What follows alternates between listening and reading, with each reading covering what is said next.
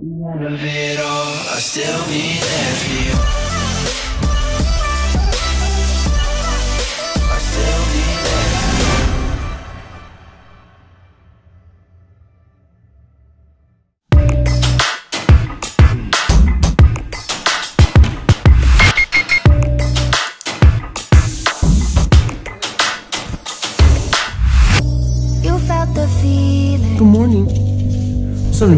Got a busy ass day. You wanna take the camera? Alright, here we go.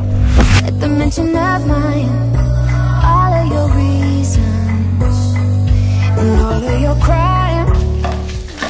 So I was watching uh, some Gordon Ramsay videos the other day and watching him make some scrambled eggs. He says to never stop whisking them pretty much and to kind of put butter at the beginning, the middle, and the end. So of course we use butter spray, not butter.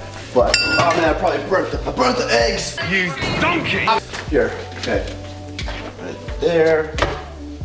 Okay, so for breakfast today, I have three whole eggs scrambled. Ah, damn, I forgot to put the, I think you're supposed to put the salt and pepper when they're almost done or at the beginning, not when they're done. Comment down below, I don't know which one to do it. With what the proper three whole eggs. We've got one green apple and we got one Danafit Greek yogurt, vanilla flavor. So this is gonna be breakfast. Pretty light, very, very light, uh, because I'm about to go to the gym and do the workout. So we'll see you there. Oh, you know what? Let's just hop into the edit, bro. All right, we're gonna hop into the edit. And so I'm gonna put the workout right in between my hands. It's gonna magically appear right here, okay? I want you guys, mm, you ready? Uh, uh, I want you to screenshot it in three, two, one. Mm, got it? Now go give the thumbs up. She thumbs it up? Alright, let's go to the setting.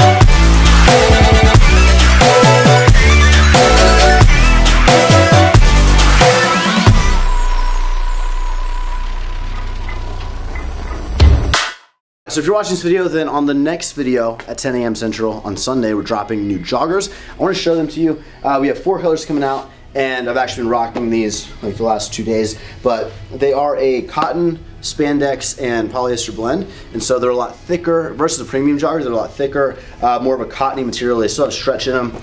They don't have a cuff. It's a nice, just like tapered ankle, and the logo is embroidered.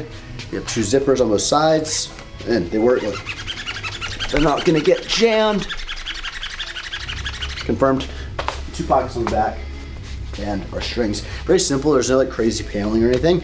There's a very staple, high quality jogger and yeah, that's really it. Uh, they fit very true to size. They are tapered, so if you don't like your pants kind of like hugging the legs and stuff, you're not gonna like these, but I, this is like my preferred fit and everyone that's kind of tried them on, Joe, Nabil, uh, Daniel, they actually prefer these over the premium joggers, and these are actually 20% cheaper than the premiums. So uh, they're actually dropping in women's color or women's as well. The women's ones do have a cuff. These do not have a cuff, and that's it. So they're limited edition.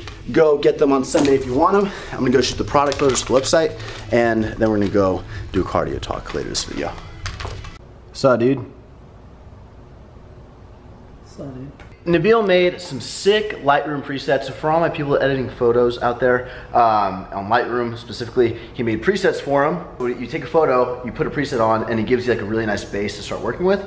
Go check them out in the description box. I'm about to show you guys what I got for dinner. This is like early dinner. I'll probably eat, I definitely will eat later on, but I've got eight ounces of the lemon pepper chicken. I just finished off the three packs that I grilled the other day, so I need to mix some more, go get some more. One packet of rice with garlic, pepper, and salt. Uh, one serving of fat-free cheese. You probably can't see it in here, but it's there. Oh yeah, there, there you go. Look at that cheese. And some Pace picante sauce. I got some blueberries on the side. I'll probably have this whole package. These are like jumbo. Look how big these are. I feel like it's a very big blueberry, but they're delicious. And this is gonna be my lunch. I'm also out of spinach. I'm so proud of myself because I actually had the whole, the big box. I had that within like four days, which is like a record for me. So very proud of myself. Um, but I need to go stock up on some things at the grocery store, probably tomorrow.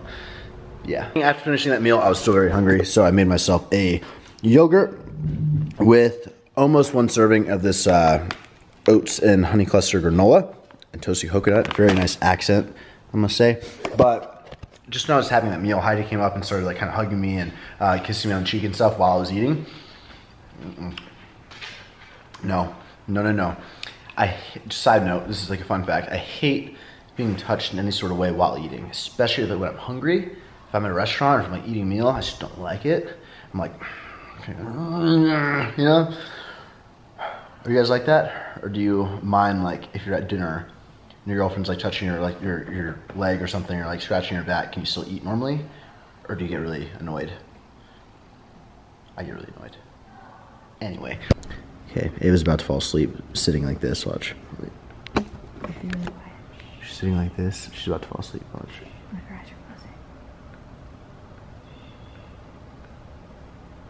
She's like, I must stay awake.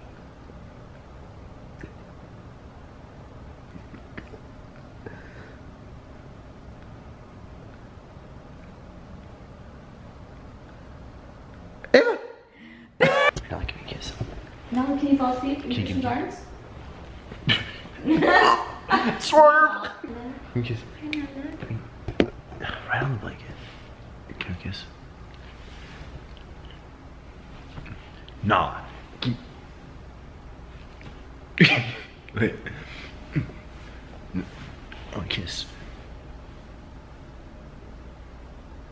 Mm. What? She's mad at me. She won't even look at me now. Heidi, look. You brat. She let me kiss her. Heidi's like the low maintenance girlfriend, and I was like the high maintenance girlfriend that I have every single day at every single moment. Watch, let me kiss her. The heck? No. What? Oh my gosh, you brat. Kisses, kisses. She really likes women for some reason. She likes girls. kiss. Kiss. No, I forgive you. She drink a lot of liquids today. you sound like a gallon jug. What's going on, guys? Welcome to the Cardio Talk. I spent a lot of time today kind of narrowing down all the information that I wanted you guys to know, and I got it all down to one sheet of paper, like one little sheet of paper. So I think I've done a good job at sort of narrowing everything down. So just pay attention to this video, uh, take some notes on your phone, sit back, relax, and we're just gonna jump into it. So this is gonna be the end of the video. So if you don't care, we'll see you in the next video. But I promise you, if you watch this and pay attention, you're gonna learn something kind of useful. So uh, I wrote down a few common questions. Each one has a different color because I'm a very visual person. I get bored really easy. So number one, do you have to do cardio to lose weight or to lose body fat? Do you have to do it? No, you don't have to do it. Cardio is simply a tool. And what's most important in this entire like weight loss, body fat loss journey, your training and your, your eating is number one, always. Really, I would say eating, training, and then cardio is like down here. It's a tool that you can use to help create a caloric deficit. Now, I kind of, all the orange here, let's move down to this orange. We're gonna use, we're gonna use Nabil. Okay, Nabil's recording this. This is Nabil's calories, okay? He needs 2,500 calories a day to maintain his weight. If Nabil wants to lose weight, he'd take in maybe somewhere around 2,000. If he wants to gain weight over time, take in maybe about 3,000, right? So 2,000, 2,500 calories is what his body expends. He works out five days a week, he does his job, he films sick videos, he goes to sleep, he, whatever his daily tasks are, that is his total expenditure. And cardio is simply a tool to help this area, okay? To create this. This is a caloric deficit right here. So whatever he eats, cardio can help accent that and help add to it. And that's what I want you guys to think of it. It's not, if you wanted to have instead of 2,000, maybe he wanted to have 2,300 calories a day and do 300 calories of cardio to equal 2,000 and create that deficit. It's, it's not by means like a, it's not the answer, it's simply something that you use to help create a caloric deficit. Which kind of leads me to my second point, or second question. Actually, let's skip to the third. Will I lose muscle and what's like too much cardio? So I just talked about making this deficit. And if you do it right, there's no way to avoid, if you're gonna lose 30 pounds, if I'm gonna go from 190 pounds down to 168, 169, am I gonna lose a little bit of muscle throughout that duration? Probably a little bit, but the best way to minimize that muscle loss is going to be to create, avoid creating a massive deficit. So let's say Nabil needs 2,500, he's eating 2,000, and then he's doing 500 calories a day of cardio. So he's creating not only a 500 calorie deficit, but another 500 calories to equal a 1,000 deficit. If he does that over time, he's gonna start losing muscle. He's gonna feel extremely weak, be very, very stringy and weak. And that's what you wanna avoid. You wanna avoid any drastic, drastic deficits. You will lose muscle, but you won't lose a lot of muscle if you keep the deficit kind of smaller, uh, use cardio as a tool, and you don't overdo it. And what's too much? I would just say there's no set number of what's like too too much, but I really wouldn't recommend creating a massive deficit, uh, whether you do it like with doing ex- excessive amounts of cardio or eating very little. Um, just avoid doing that because you're not gonna like the results. That's how you get like that really just not the look that we want. We want to maintain muscle mass. We want to be full. We want to be strong. We want to hold on to our strength. And the more strength you hold on to, the more muscle you hold on to, the better you're going to look when you're all dieted down and shredded for the pool parties. All right. So, question number two: When should you do your cardio? And this is a very common question. A lot of people swear, you know, you have to do cardio first thing in the morning, fasted to get results. You have to do cardio right after your workout. You have to do cardio at night. You have to do it before your workout. There's so many options when to do it. And my overall answer is very simple. It's all preference. Whatever fits your daily life, whatever fits your lifestyle and your preference, that is what I recommend you guys doing. But except I wouldn't do it right before your workout because you're to take away energy uh, that you could use for your training. So again, training and nutrition's up here, cardio is right here. So you want to give your primary focus always your training nutrition. Um, so I wouldn't do it before your workout, but a lot of people like to wake up and go do their either high intensity or low intensity workouts, which is totally fine. Like if that makes you feel good, if that's what you enjoy, if that's what when you perform cardio and you like getting that routine and you feel like endorphins in the morning, you feel great, then do it. Do it in the morning. For me, I personally like to do my cardio either after workout or right before bed. Um, and that's just preference. I don't like waking up and going to do cardio and having a shower. I'd rather do it later in the day and feel like, all right, it's the last thing I gotta do. Honestly, I mainly do it at night. Last thing I gotta do, knock it off my list. Now I can freaking go to bed because I'm tired from all the Stairmaster. Uh, that's kind of what I prefer, but there's no proven benefit to doing faster cardio in the morning versus doing it after workout or at night. Everything comes down to this. It all comes down to calorie intake versus calorie outtake or expenditure if you're it doesn't matter what time you're doing it uh, but this over a 24 hour period how much food you're taking in what your deficit the, the deficit you're creating is what's going to matter. This is the priority not what time you're doing your cardio. Uh, last question i want to answer is what type of cardio is best? And to answer that we need to discuss two types of cardio LISS and HIIT. We're going to go over them right now. The first cardio we're going to talk about is low intensity steady state or LISS as it's commonly referred to. What you need to know First, we have to find our fat burning zone. Where do we want to keep our heart rate throughout this entire duration? What I want you guys to do is take the number 220, subtract your age. So for me, I'm 25 years old, so I'm gonna subtract 220 from 25, gives me 195. I'm gonna multiply 195 times 0.65 to 0.70. That's gonna give me my heart rate range I wanna stay in. So from 125 to 135 is sort of that fat burning zone that I wanna stay in. Uh, again, this is super broad. You can go way more into depth than this. This is sort of the most simplified version uh, that I wanna give to you guys. So essentially what we're doing here, this is our heart rate, this little line. We're bringing it up and we're gonna maintain it for anywhere between 30 and 45 minutes. I really don't push 45 minutes uh, until later on during prep. I pretty standard for me going to be a 30 minute session a few times a week, but you could go up to 45 if you want to. Um, a few examples of this would be an incline treadmill. I really enjoy putting the incline at a number 10 and then bringing the speed up to like a three and a half to a four, kind of depending, whatever gets my heart rate at that zone right here. Uh, you could do a steady Stairmaster, which I always do. I have a Stairmaster downstairs in the garage. That's actually my go-to. Uh, you can do an elliptical, a bike. You can go for a nice jog outside. Anything that brings your heart rate up and allows you to maintain it, really. So you have a lot of options here for low intensity, but the kind of takeaway points and some kind of criticism that people get with low intensity. A lot of people get bored doing it because it is a longer duration. A lot of people get bored, they don't have the attention span for it, they don't feel challenged. A pro, like a, a good thing about it, it's not too taxing on your body. And so I actually find that I can do more low intensity sessions throughout the week than I can high intensity because I'm training six days a week.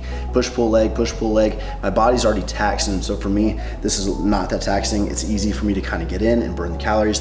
Uh, and number three, a lot of people, depending on personality, may find it peaceful or enjoyable to actually kind of have this time. Uh, maybe if you want to catch up on YouTube videos, if you want to watch one of these videos uh, during that session, it's something that you can, you don't have to be going all out, balls to the wall um, to be able to get it done. Now, that's kind of like the pros and cons of LISS and everything you need to know. Now I'm to show you guys HIIT. All right, so the second and final type of cardio we're gonna talk about is gonna be HIIT or high intensity interval training. This is essentially short bursts of energy. So you're going all out for a short period of time and you're following that with a, a period of low intensity work. So duration, give or take 20 minutes. Uh, so it is shorter than the low intensity steady state sessions. And I wrote down a few different examples for you guys to try out um, if you want. So five minute jog, I had that on all three examples. You need a little warm up period. Then you're gonna go into a 20 second all out balls to the wall sprint. Give everything you got. Your whole body should be like be working. You're aching afterwards, right? So 20 seconds of a sprint, and you're gonna follow that with maybe 40 to 60 seconds, depending on your conditioning level, of not a walk or like a rest period, but you're gonna continue jogging. So you get your heart rate up, right? Five minutes, and you spike it up. It starts coming down, but you're still like still jogging, so it's not gonna come down like here, and then you spike up again, spike up again, and you repeat that for anywhere from, I put seven to 10, but it really depends on your conditioning. Uh, maybe six to 10, maybe even push 11 or 12 rounds, depending on how you're kind of doing it. And then you're gonna final or fin finish with the cool off or cool down period. Uh, another example would be a five minute jog, and then you're gonna go 20 seconds on the battle ropes. You know, you know the, the ropes that we do, you're slamming you're slamming, you're doing as fast as you can, giving everything you've got, or you can even grab the, the medicine balls, really heavy ones, and you're gonna slam anything that requires explosive bursts of energy, but you do wanna stick to movements that require a full body, um, like a sprint or like a battle rope, like, like a, a big medicine ball slam, some, running up a hill, something like that. Uh, and then again, follow it with 40 seconds, sec 40 to 60 seconds of a cool off, uh, maybe a jog or whatever you're doing to kind of keep that heart rate up and repeat that and then cool off. The last example I gave was an elliptical. Uh, I said the same concept, the elliptical warm up and go all out and kind of not rest, but go back to that lower intensity for a few seconds, for 46 seconds. And I gave that example because it's a lot less uh, hard on your joints than like a sprint or anything like that, running up hills. And so if you have bad joints, uh, you can still do your HIIT without like beating up your body pretty much. And a few main, I'm so chill right now, it's like the end of the day, I've been working on this forever. But a few of the main points at the very end, you're gonna spend less time doing this than you would a LISS session. Uh, for a lot of people, this is super high energy. You have your endorphins, you feel more, you feel like you're doing more, you feel super positive. You're like, wow, this is freaking hard. I'm taking this over, I'm challenging myself, and you feel really accomplished after. And if you feel that, if you really enjoy that, then go for this by all means. This might be the type of cardio for you. Some negatives, it's, it is more taxing on the body than LISS, and so this could potentially hurt your weight training. And like I said, weight training, nutrition's number one, cardio is just a tool. So I would never want you guys to do so much of this where you're affecting your weight training. Uh, and if you're not recovered properly, uh, there is a high risk of injury. If, of course, if you're sprinting and you're not a sprinter, if you're running up the hill, if you're doing anything crazy that requires a lot of, if you're not an athlete, then you do have a high risk of getting injured as opposed to like a Stairmaster or an incline walk. Um, but that's really it. And my whole point of this is at the end of the day, it comes down to preference. I don't care if you do LISS, I don't care if you do HIIT. I personally do probably like 80% LISS, 20% HIIT, just because I really enjoy my time on my Stairmaster where I can set my, my phone up and just like catch up on some YouTube videos, watch some of my friends' videos, and it makes the time go by really quick. You can download some Netflix, and of course you're not like on your phone texting and stuff because you are going at, a rate to get your heart rate up, and you should be challenged with the low intensity session, but putting your phone there, having headphones and kind of like paying attention to a video really helps me um, sort of find peace and relax a little bit. Uh, high intensity, I don't really do much high intensity like leading up to a show, but I may like right now, the, like when I'm 12 weeks, 11 weeks, 10 weeks out from really getting to that point I want to get at, uh, incorporate some, even eight weeks out, seven weeks out, things like that. Um, but again, me personally, I lean towards a little bit more LISS, but that's just my personality. Maybe you guys want to try this out. So if you do, then I highly recommend it. Whatever you do, don't do too much cardio at like don't start with too much maybe start with one LISS one LISS and one HIIT for the week and next week maybe we can add you know two LISS in one HIIT, maybe two and two. I really wouldn't recommend pushing too much more than maybe four sessions a week. Um, it's very different for everybody, but I would start with just maybe one of each, uh, or just one. Really depend. There's so many factors that go into it, but don't overdo it. It's better to add it in later on as a tool uh, than to just like go all out too quick. If that makes sense. Uh, I think that's really everything I wanted to cover. If you guys have any questions, comment down below, and I'll be able to com- or comment and answer. And uh, yeah, that's really it. So thank you all so much for watching. If you're still with me, appreciate you. Hope you learned something, and we'll see you in the next one. I know you said goodbye to the video, but Heidi and I just went to Whole Foods, which is 100% extremely overpriced and not worth it, in my opinion. But it's okay. Let's look at this little. Okay, how much do you think this flower? Look, look how big this is. It's not even that big. Okay, $39.99 for these flowers. Uh, anyway, I'm gonna show you guys what I got because it's summer shredding. I don't care about video length right now. I just want to get content for you guys. So we picked up uh, some watermelon that she's eating. We got these $10 strawberries. We got pineapple chunks. I ran out. Uh, I picked up more spinach. I ate the whole box already. So this is spinach I'm about to use. I got some asparagus, but I like how they already cut the bottoms off. So this is just like the good part. Super nice. I got, I got these chopped onions, which I'm gonna use right now to cook some dinner. Cucumbers, coconut, water, coconut milk, tidies, some morning O's, and grapefruits and ginger ale because her stomach hurts. So this is what she drinks when her stomach hurts. But that's about it. I'm actually gonna show you guys what I cook for dinner because I feel like it'll be pretty unique. I'll show you the finished the finished product. So here we go. Okay, so for my final meal of the day, I have three ounces of turkey, two servings of white rice, basmati, one whole egg, three egg whites, a big handful of spinach I sauteed, and I think that's it. Onion, some diced up onion. So that's gonna be my dinner. That finishes off my protein for the day. I still need some carbs and a little bit of fat later on tonight, but I'm gonna save that. And that's it. So I'll see you guys tomorrow.